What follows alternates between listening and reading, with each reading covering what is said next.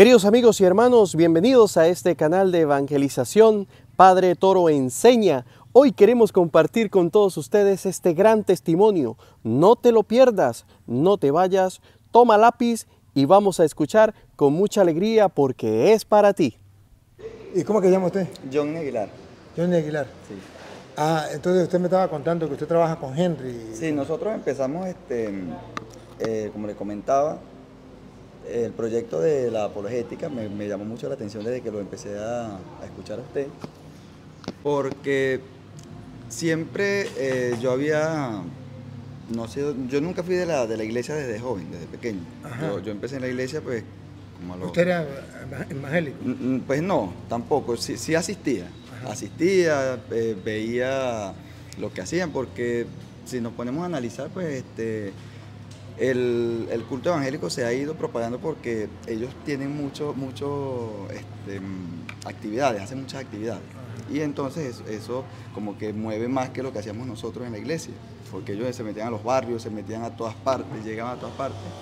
Entonces por esa razón uno pues como que si hacen algo uno se acerca y oye, ve, pero eso no, no me llamaba a mí la atención, no me satisfacía. Yo a pesar de que la iglesia católica no asistía, pero era la que me llamaba la atención, pero tenía muchas dudas y nadie me las aclaraba y, este, cuando iba a la misa, pues la misa era una hora y ahí en la misa después que hacen, que dan la homilía, pues uno no, no tiene como esa posibilidad de preguntarle al sacerdote, mire sacerdote, este, a mí me quedó de la homilía esta duda. No, no la había, porque uno termina la, la homilía y el sacerdote se va y todo el mundo se va y ya nadie se conoce, nadie, todo el mundo se iba. Y entonces uno quedaba con alguna interrogante y tenía que llevársela a la casa. ¿Y a partir de qué edad, qué edad fue usted para la iglesia, más o menos? Como 19 años. 19 Ah, pero usted viene de familia católica o de familia protestante. Eh, mi papá es el, el presidente de la confraternidad de pastores de acá de Araure. Todavía es pastor. Sí, él es pastor y él tiene una radio que se llama Alternativa Cristiana. Ah. Esa radio queda ubicada en Villaraure. Y mi mamá es, sí, siempre ha sido católica de toda la vida. Entonces yo... ¿Viven juntos? No, separados. Ah, Entonces usted jala- jalaba para juntos lados. Sí, yo pues a veces iba allá, a veces iba acá, pero no tenía definido porque tenía dudas, tenía dudas. Cuando empiezo a ver los videos suyos y empiezo con, con esto de la apologética y, entonces muchas muchas de las dudas que yo tenía pues se aclararon como de forma tan sencilla. O sea, de dudas que yo tenía, yo ni siquiera sabía, por ejemplo, lo lo de la Biblia. O sea, todo el mundo tiene una Biblia y yo a los católicos casi no se les veía la, la Biblia, se la veía más que todo a los, a los hermanos separados. Ellos sí tienen su Biblia y yo pensaba que la Biblia era de ellos. Y cuando veo un video donde aparece, mira, la Biblia, y veo la explicación, San Damaso, y él recopila los libros, entonces yo digo, oye, entonces esa Biblia la hizo la Iglesia Católica. Y cuando empiezo a seguir viendo entonces más videos y más videos, entonces veo toda la información que hay y la corroboro por internet y veo que es verdadero y veo que eso estaba ahí y yo nunca lo había conseguido. Y cuando lo empiezo a conseguir, pues ahí es donde ya me meto de lleno, no, es aquí. El lugar es aquí, el lugar es la iglesia católica. Entonces, este, me pongo en contacto con él, nosotros empezamos a hablar, entonces veíamos los videos. Entonces usted es el famoso Henry. Henry Colmenares, sí. Henry Colmenares. Henry Colmenares. Entonces usted es el que, co- la- el que hace los... ¿Cómo es? Los cursos. Los cursos. Los cursos de apologética católica y le colocamos método Padre Luis Toro porque ha tenido mayor impulso, ¿verdad? Más significativo, una sencillez donde las personas pueden este, entender con facilidad todas las enseñanzas suyas. Por eso le colocamos método Padre Luis Toro. Y los videos, eh, yo iba viendo cada video, vi 50 videos suyos. Y a cada video yo iba extrayendo las citas bíblicas, iba extrayendo, iba colocando e iba copiando todo lo que usted decía. Y lo pasé a, a Word y de Word lo, fue, lo, co- lo comenzamos a compartir a los hermanos, los que estén interesados en aprender. Por eso es que más adelante esto fue, se fue institucionalizando un poquito más. Eh, hablamos con usted para que nos facilitara la firma, para que los certificados fueran avalados por su firma y tuviera, tuviera mayor peso y mayor seriedad, porque muchas personas dudaban, pensaban que esto era una secta. Pero cuando vieron la firma suya, más avalado con la firma del padre José Alberto Rodríguez, el sello también de la parroquia, vieron que era más oficial y comenzaron a estudiar. Qué bueno, ¿no? Yo, este, cuando, cuando usted comenzó, que usted me dijo eh, que iba a hacer el trabajo, y, bueno, pues, yo soy de las personas que, que pienso que hay que darla a campo abierto porque Jesús mandó a los apóstoles a, A predicar. a predicar, vayan, y, y tenemos que ser abiertos también a todo eso, ¿no? Después mandó a 72 más discípulos Después fue creciendo. y- fue creciendo, ¿no? Este, pues hay muchas personas que dicen, sí, voy a trabajar de esta manera, y uno dice, bueno, sí, pues trabaje. Yo nunca le digo que no, pero, pero nadie le ha puesto tanto pecho y cariño como, como lo ha hecho usted. Pero luego Para la gloria de Dios. me pongo a ver y el método sí es el método mío, por eso que me, me ha gustado, porque me puse a ver, y me- algunos dicen método del Padre Luis Toro, pero, Ah, pero cuando veo el método, ciertamente que sí, se comió los videos sí, sí. y, y está trabajando. Luego he visto cómo, cómo mucha gente donde he ido en el mundo, este, este método me ha servido. Padre, he estudiado con este método, incluso me han mandado reflexiones, lo he escuchado muchas Sí. veces, usted manda un audio, yo también me lo han mandado, y me ha gustado cómo lo, cómo lo, lo concretiza, cómo lo trabaja. Y últimamente pues tuve la sorpresa de muchos sacerdotes que se están formando con, con ese método, ¿no? Método nuestro. Y, y me decían, no, esto es espectacular, con el hermano Henry y ese trabajo que están haciendo. No me queda más que felicitarle, de verdad Muchas que sí. Todo para la Y- gloria de Dios. Y por eso hice el esfuerzo de venir, de compartir, de estar con ustedes.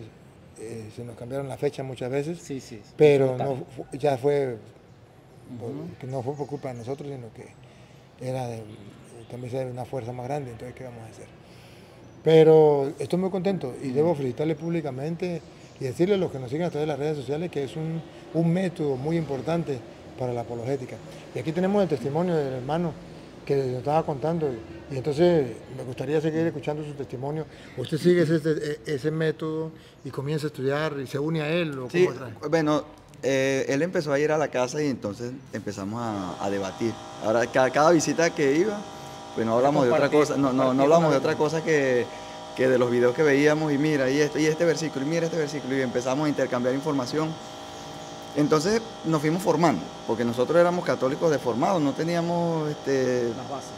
Sí, no teníamos bases, no teníamos información tampoco, porque yo después, a, a- a, a medida que iba viendo los videos, era que se- sentía que de verdad yo estaba en la iglesia correcta. Y sigo viendo videos, sigo viendo videos, entonces después se nos, pues, se acuerda Henry, mira, vamos a hacer un Proyecto. un, un proyecto donde nosotros, eh, lo que ya aprendimos, entonces se lo, se lo digamos a las demás personas, porque así como yo, pues yo, no, yo no conocía de usted, hasta que alguien me dice, mira, los videos del Padre Luis Toro te pueden ayudar a, a- que tú este, consigas esa, esa respuesta que no tienes. Entonces así fuimos llevándolo a otra parte, después nos metimos en la parroquia y hablamos también con el padre que nosotros queríamos la apologética ahí en la iglesia, la queríamos ahí en la parroquia. Y entonces el padre dice, bueno, y el anterior obispo eh, pasa el, el proyecto. Lo pasamos a, mm, a los grupos, hicimos una, ahora la, la parroquia tiene en cada comunidad, eh, por ejemplo en urbanizaciones o barrios, hay unos grupos que están estudiando y una vez al mes se le daba apologética. Lo empezamos dando nosotros, ¿verdad? Los íbamos visitando y llevamos el tema, hicimos un orden, teníamos un orden. Y empezamos y después el padre le gustó, dijo que sí, que se quedaba.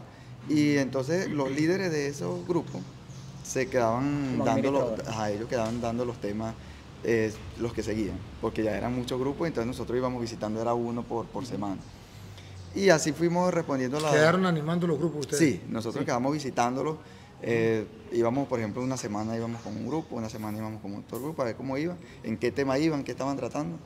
Y así la gente le, se, se iba formando en, en- fuera de la iglesia, en su casa. Tenían un- hay unos que se reúnen los lunes, unos los martes, unos los miércoles, nosotros lo íbamos visitando. Ah, pero y a toda esta, ¿y su papá no le, no le, no le, no lo, cómo, no lo, pre- no Él lo le revisó a usted? Él le rehuye. Sí, nosotros, este, bueno, él, él- nunca hemos tenido conversaciones así porque siempre... Pero antes de conocer, antes de conocer las enseñanzas y eso, su papá lo- le predicaba y eso. Sí, él me, me invitaba, yo a veces los ayudaba cuando iban a hacer los, eh, los eventos, las, ¿cómo se llama? Los, los cultos que hacían en la calle. Yo iba con él, las campañas, y montamos los cajones, el sonido y todo, y yo me quedaba ahí, y cuando llegaba el momento donde decían que cambiaba el tecladista de la música alegre y empezaba la música ya como romántica, Ajá. y empezaban, bueno, vamos a pasar a, para orar. Pues. Cuando me buscaban, pues ya no, ya no, Sí, me, no con- estaba. ya yo- no me conseguían, yo me iba, porque ya yo conocía este, cómo eran la- la- las partes del culto. Y cuando yo sabía que en la última parte era pasen para acá, entréguense, pues yo me iba. Me iba. Entonces siempre me decía, pues te estás buscando. No, no, yo no, no quise. Pues, no, pues que iban solamente a orar. Yo nada más iba a repetir las palabras de la oración. Y yo, no, no, no, no. No me gusta, yo no quiero ser de, de esa religión. Y él me respetaba hasta, hasta ese punto. Nunca llegamos a tener una, una, una discrepancia sobre un tema, no. Él simplemente me decía algo y si, si veía que yo no, no me gustaba o le respondía con otra cosa, pues hasta ahí, llegaba hasta ahí.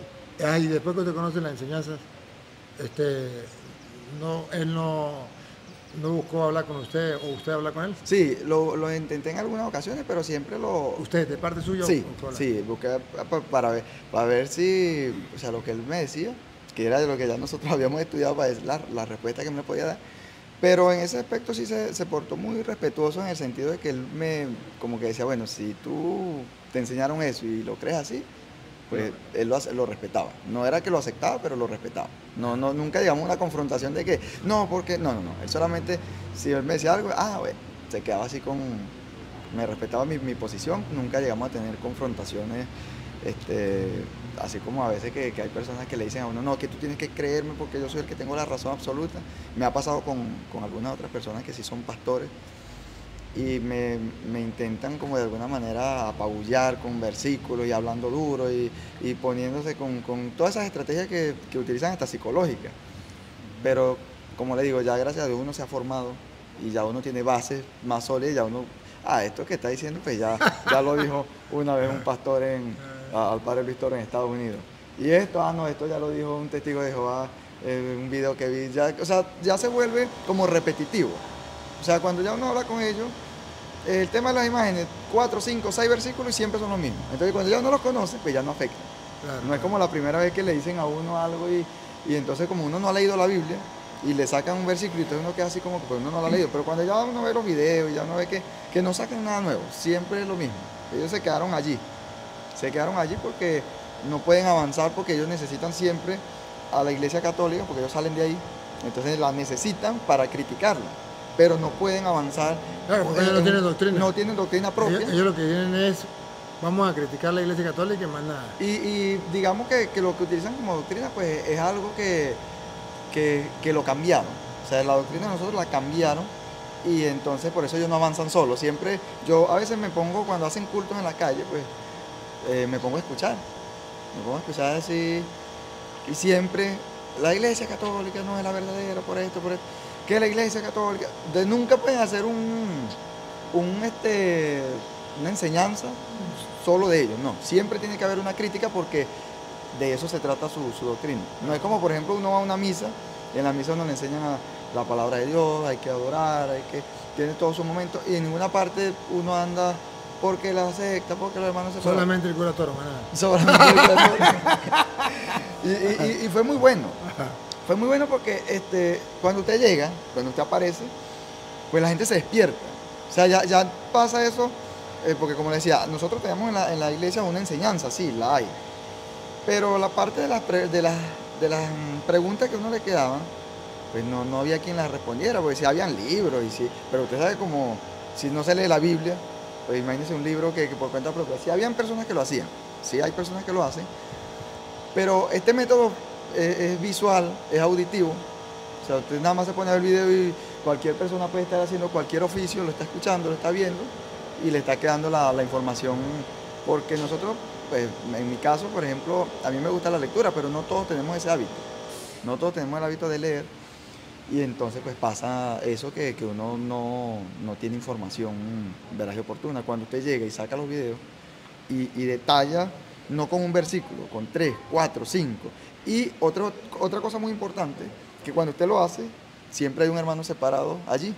Entonces él es el testigo. Él es el testigo. O sea, no. Porque cuando yo empecé a ver los videos, padre, a mí me dijeron, esos son montajes.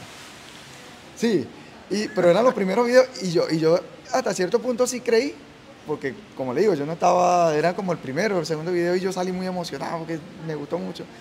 Pero esos son montajes, me dice. Me dice, no me acuerdo quién, eh, era un, era un, un protestante y yo le, le hablé, tú has escuchado a, a- los videos del Padre Toro, porque cuando yo no me sabía los versículos porque eran, estaba empezando, no me los sabía de memoria. Y me dice, no, pero es que esos son montajes, siempre acostumbran a hacer eso, hacen un montaje donde la persona, como una obra.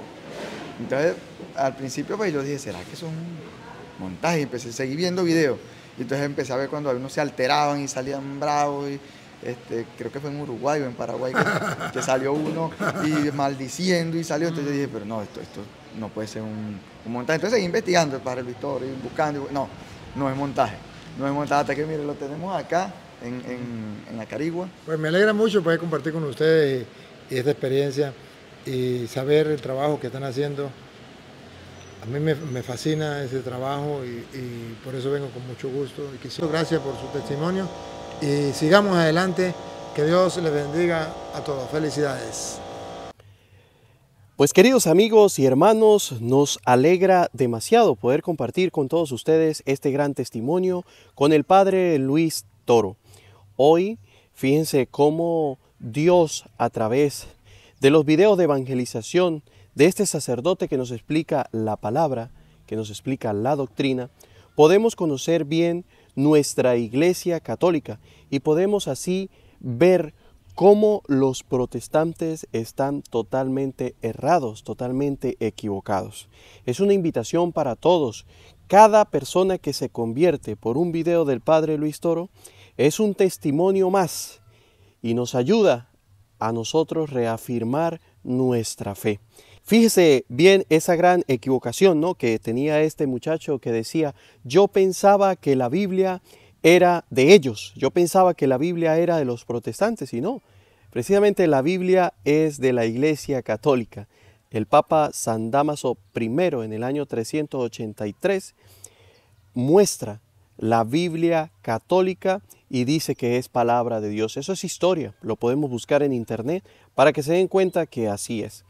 Y qué bonito pues cómo eh, Dios va obrando en esta familia, a pesar de que su papá es protestante. Su papá no pertenece a la iglesia católica, pero él va.